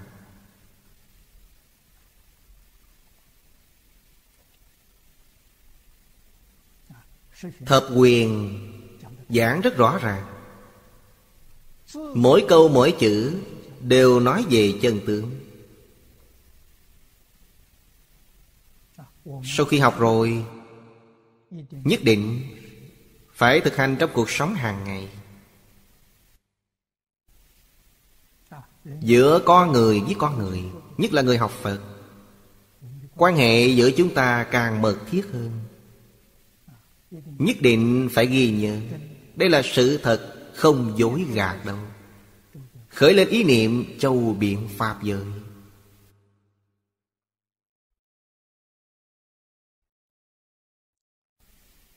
Khởi lên phân biệt chấp trước Là xuất sanh vô tận.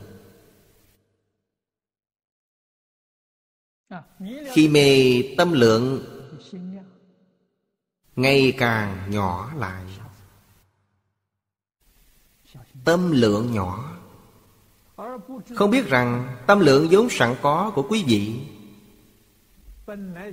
Là hàm dung không hữu. Hàm là bao hàm. Bao hàm hư không. Hư không bao lớn. Tâm của quý vị còn lớn hơn hư không. Trong Kinh Lăng Nghiêm, Đức Thế Tôn ví dụ. Ngài ví dụ, Hư không như một đám mây. Tâm lượng được ví như hư không. Quý vị nghĩ thử xem, Hư không lớn hay là đám mây lớn?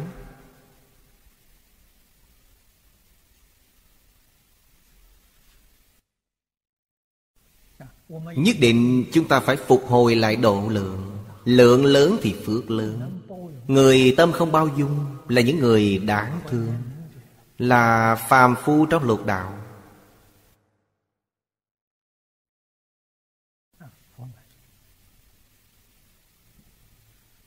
Trong thời khóa công phu sáng tối,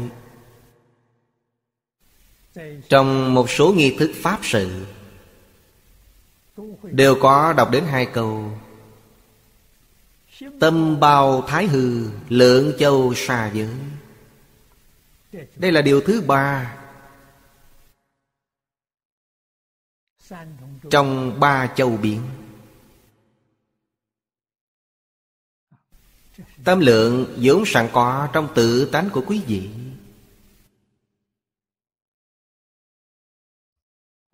Chẳng có gì là không bao dung.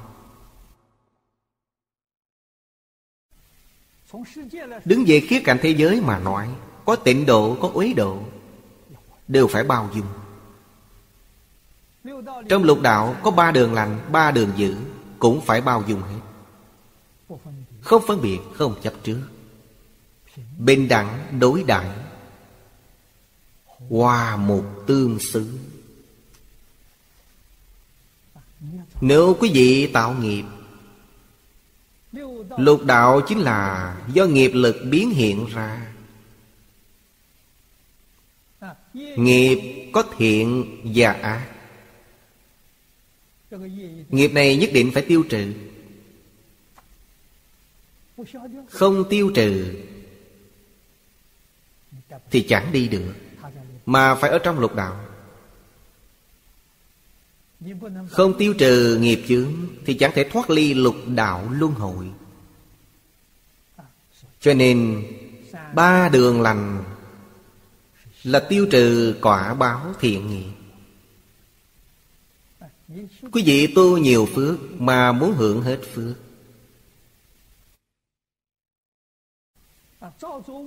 Tạo ác nghiệp. Vào ba đường dữ chịu tội. Chịu tội hết mới được ra. Cho nên, Lục đạo đều là giúp chúng ta tiêu trừ nghiệp chướng. Trong nghiệp chướng có thiện, có ác. Trong ba đường ác, có gì không tốt vậy? Nếu không có ba đường ác, Nghiệp chướng của người tạo tội không bao giờ có thể tiêu được.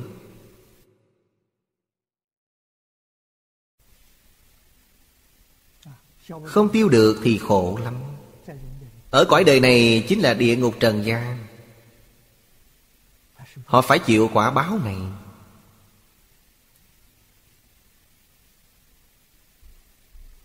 Vì sao người đọa vào địa ngục thời gian lại dài như vậy? Họ phải tiêu trừ hết nghiệp báo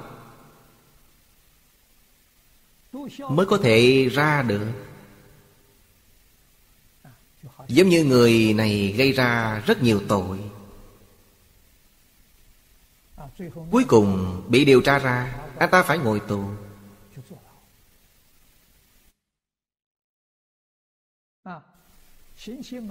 Mãn hạn tù Thì được thả ra. Ba đường Á cũng giống như nhà tù vậy, Có nặng có nhẹ, Không đồng nhau. Người chịu tội nhẹ vào đường súc sanh. Nặng hơn một chút, Vào đường ngã quỷ. Nặng nhất là vào đường địa ngục. Lục đạo là nơi tiêu nghiệp cho con người. Pháp giới tứ thánh, Tu tập ở chỗ đó. Chuyển phàm thành thánh.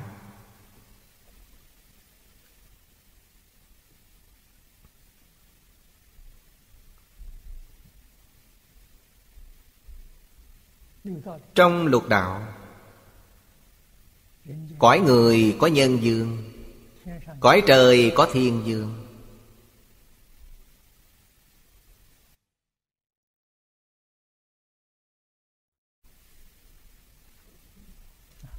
Rất giống tổ chức của cõi người Và rất giống tổ chức của xã hội.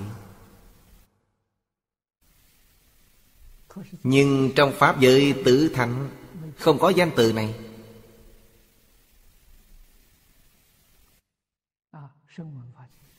Trong Pháp giới thanh văn, Ai là người làm quốc dương? Chúng ta không nghe nói. Trong Pháp giới duyên giả, Pháp giới Bồ Tát Pháp với Phật đều không có quốc dương.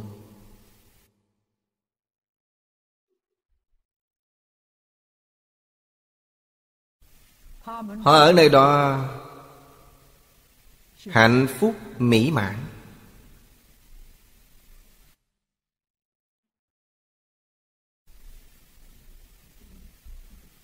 Họ thường qua lại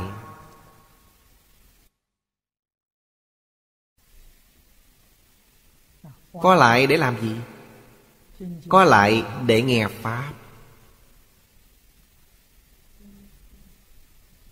Thường chia sẻ cùng nhau không gián đoạn. Đó gọi là thế giới cực lạc. Cảnh giới đó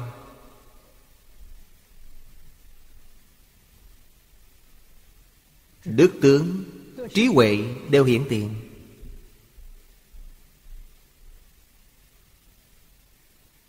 Bất luận là cuộc sống tinh thần hay cuộc sống vật chất, Đều làm đến chỗ tùy tâm sở dục.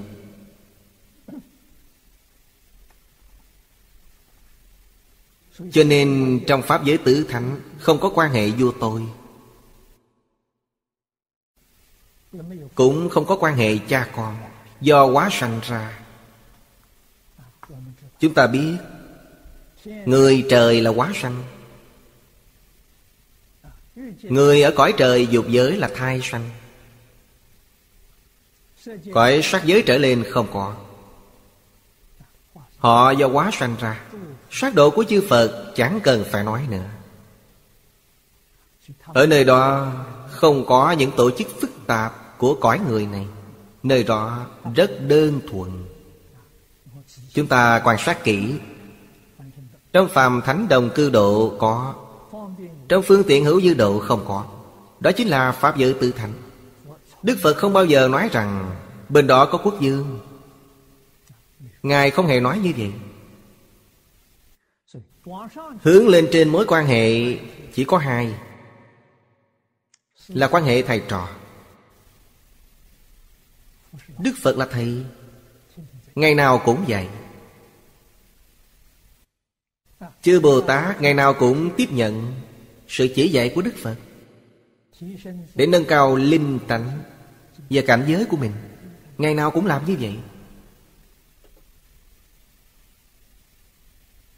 Đến nơi đó hàng ngày học tập. Những điều này chúng ta cũng không nên nói nhiều. Vì sao vậy? Bởi nói nhiều, Những người không thích học, Họ sẽ không về đó nữa. Về đó ngày nào cũng học. Họ sẽ không đi đâu. Chư Phật Bồ Tát thiện xảo phương tiện. Các ngài có phương pháp để dụ dỗ chúng sanh. Đây là ý thiện, Chứ chẳng phải ác ý đâu. Đây là lợi người, Chứ chẳng phải tự lợi.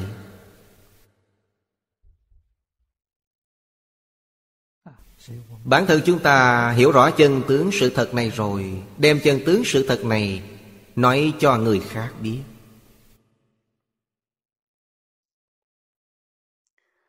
Cho nên nhất và đa đồng thời tồn tại.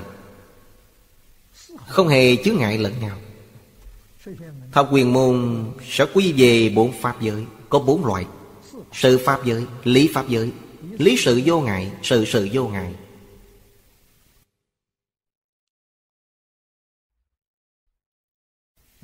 Ở đây nói rất rõ ràng. Hữu, thử hương, Biến ư thập phương. Phục minh, Nhất pháp biến ư đa pháp. Cánh hiển, nhất đa tương dung, Bất đồng chi diệu. Quý vị quan sát kỹ Biến pháp giới hư không giới.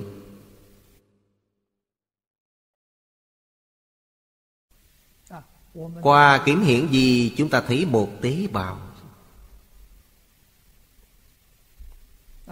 Trong tế bào này có rất nhiều nguyên tử. Điện tử, lạp tử, tiểu quan tử. Tổ hợp thành một tế bào. Tế bào là đa. Nhưng mỗi một tiểu quan tử Đó là nhất. Tế bào này do nhiều tiểu quan tử hình thành.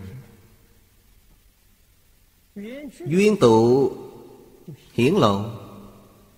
Duyên diệt chẳng còn.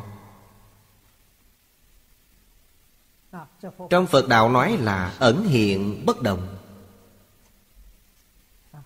Đoạn thứ năm dưới đây Nói về ẩn mật hiện. Ẩn hiện không giống nhau. Chẳng những là Hương biến mười phương Pháp giới, Mà còn biến tất cả dạng Pháp.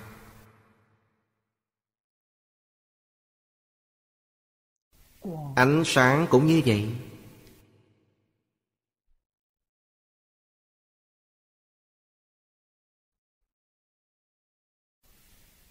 Kiến gian giá trị cũng như vậy.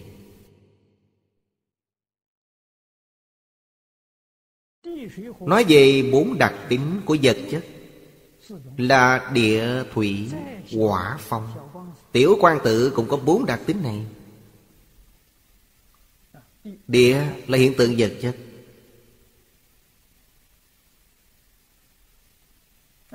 Thủy hỏa. Đây là danh từ trong Phật giáo. Ngày nay khoa học nói điện. Điện âm, điện dương. Là tử cơ bản nhỏ nhất Cũng có điện âm, điện dương. Điện dương là quả đại. Điện âm là thủy đại Và phong đại. Phong đại là lưu động không ổn định.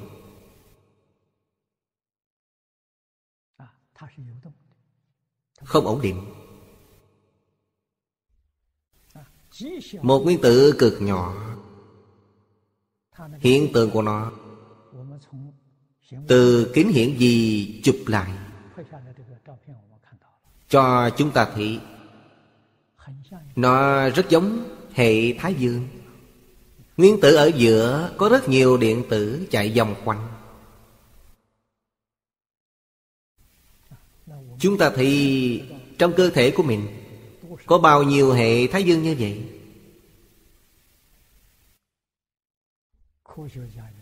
Các nhà khoa học cũng nói không hết được.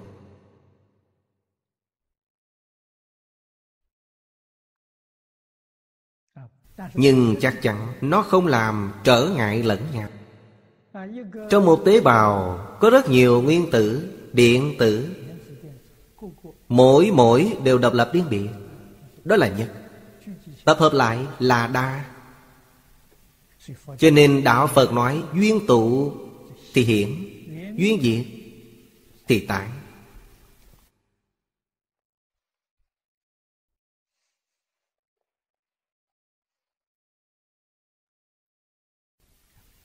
Cánh hiển nhất đa tương dung bất đồng chi diệu. Đạo lý này rất khó hiểu. Phải giảng rộng ra. Nhất là vào thời đại này, Quý vị không giảng Thì mọi người chẳng tin. Họ không chấp nhận. Cần giảng nhiều. Cũng may các nhà khoa học ngày nay giúp chúng ta rất nhiều.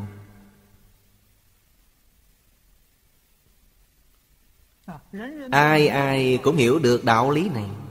Kiến hòa đồng giải của chúng ta Đã có nền tảng rồi. Kiến lập trên nền tảng này Là giới hòa đồng tu. Cuộc sống của chúng ta phải có quy củ, Phải có thứ lớn. Học đệ tử quy, Học cảm ứng thiên Học thập thiện nghiệp Đều là học quy củ. Quy củ có phải là ràng buộc chúng ta chăng? Không.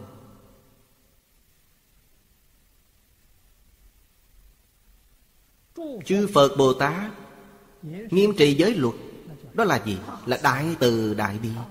Các ngài còn phải học giới luật gì nữa? Các ngài đã minh tâm kiến tánh rồi mà. Nhưng các ngài vẫn làm cho mọi người thấy, Làm cho những người mê hoặc điên đảo xem. Người mê hoặc điên đảo, Khởi tâm động niệm, Ngôn ngữ, tạo tác đều là bất thiện. Họ tạo nghiệp tội nên sẽ bị đọa vào ba đường á Miên diễn không thể thoát ly lục đạo luân hồi. Như thế thật đáng thương. Chư Phật Bồ Tát, Đại Thánh Đại Hiền Đều đến đây làm bậc mẫu mực.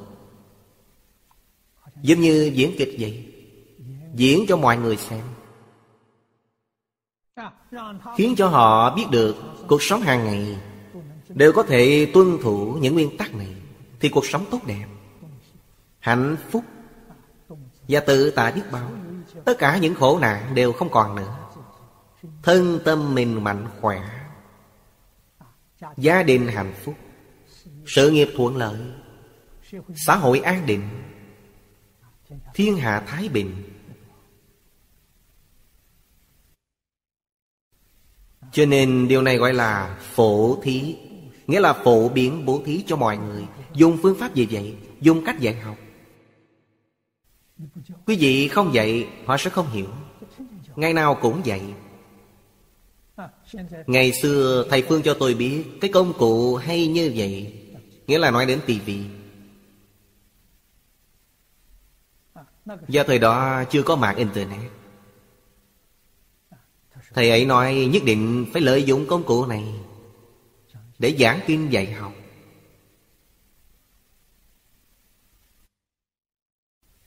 Trên thế giới có được năm sáu mươi vị thầy giáo Bất đồng tôn giáo, bất đồng nền văn hóa Ngày nào cũng giảng dạy trên tivi Thì sẽ cứu được thế giới này. Xã hội có thể phục hồi lại an định. Tất cả những hiện tượng không bình thường của địa cầu Đều có thể phục hồi lại bình thường. Vì sao vậy? Về cảnh tùy tâm chuyển. Chắc chắn làm được.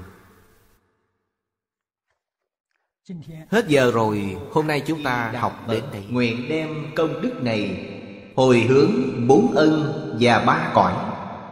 Nguyện khắp Pháp giới các chúng sanh Đồng sanh cực lạc thành Phật đạo. Chúng Phật tử đạo tràng tịnh độ. Nam Mô A Di Đà Phật